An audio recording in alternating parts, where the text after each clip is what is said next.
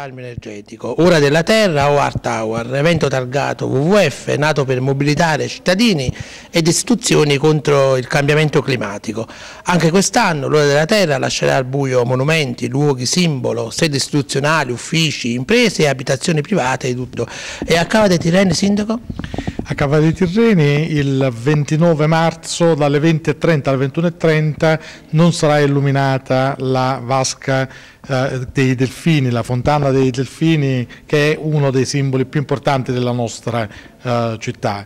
Uh, questa volta non è per un guasto elettrico, ma per un, per, dire, per lanciare un messaggio a tutti i concittadini, perché eh, eh, ci sia consapevolezza eh, della necessità di salvaguardare l'ambiente anche riducendo eh, i consumi elettrici che producono eh, CO2 e che determinano inquinamento.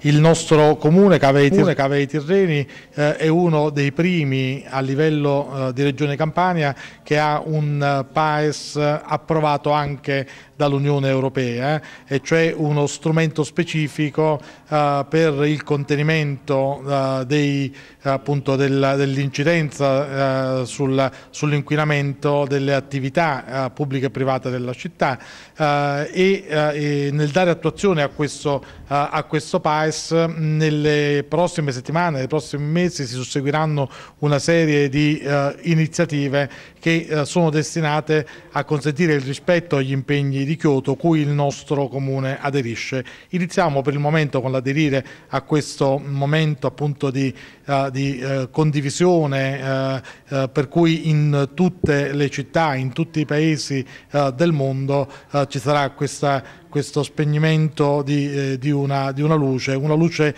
in meno importante soprattutto per il valore morale di questa iniziativa e per richiamare i cittadini al minor consumo energetico e alla salvaguardia dell'ambiente. Terra 2014 del 29 marzo con lo spegnimento della fontana dei Delfini a Piazza Duomo. L'assessore Palumbo. Allora, sarà spenta la fontana dei, dei Delfini dalle ore 20 alle 21.30 di sabato 29 eh, marzo. Ovviamente questo è un appello che eh, rivolgo un poco a tutti, tutti i cittadini, le casalinghe, eh, gli uffici, che se possono spegnere almeno una luce in casa è un risparmio energetico enorme e quindi un'evidente un immissione nell'atmosfera di, eh, di, inquinamento.